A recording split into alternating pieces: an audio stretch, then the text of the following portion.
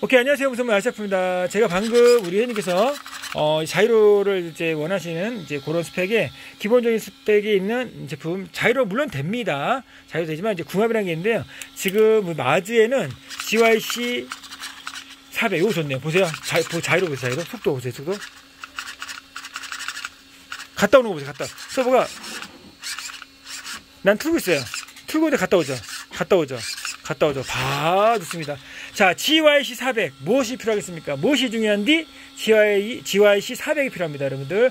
마지같이, 어, 그냥 뭐 3, 40kg가 아니라 4, 50kg에서 6, 70kg, 70kg, 80kg, 90kg, 100kg 점점 빨라진다고 하시면 꼭 사용하시기 바랍니다. 자이로. 안 그러면 순간의 선택이 그냥 미끄러지면서 벽에 갖다 박으면 그때는 예, 10만 원 이상, 20만 원, 30만 원도 견적이 나올 수 있지만, 요거 3만 원 정도 되는 요 GYC 400, 요 서버, 요 자이로로, 예, 자이로로 꼭 선택하시기 바랍니다. 자, 지금 바로 검색하세요. GYC 400입니다. 오케이.